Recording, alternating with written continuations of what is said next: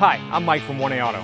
We've been selling auto parts for over 30 years. We're dedicated to delivering quality auto parts, expert customer service, fast and free shipping, all backed by our 100% satisfaction guarantee. So visit us at 1AAuto.com, your trusted source for quality auto parts.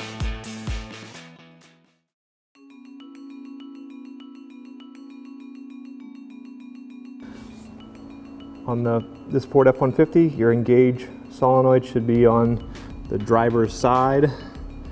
Our general location is passenger side, but this is towards the driver's side.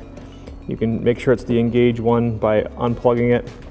And this keyway should be in the nine o'clock position. To remove, use a bent tip awl, and there's just a little tab back here that you need to push back.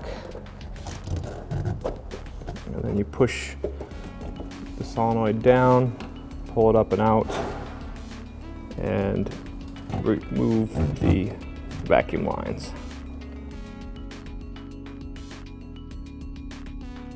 Install the new Engage solenoid. Make sure that it has the keyway at the 9 o'clock position. Put it down and in, and it should slide right up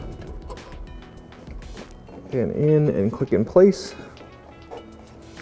And then you can reconnect your vacuum lines.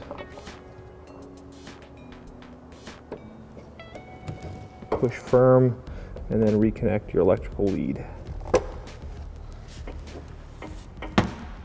Thanks for watching. Visit us at 1AAuto.com for quality auto parts, fast and free shipping, and the best customer service in the industry.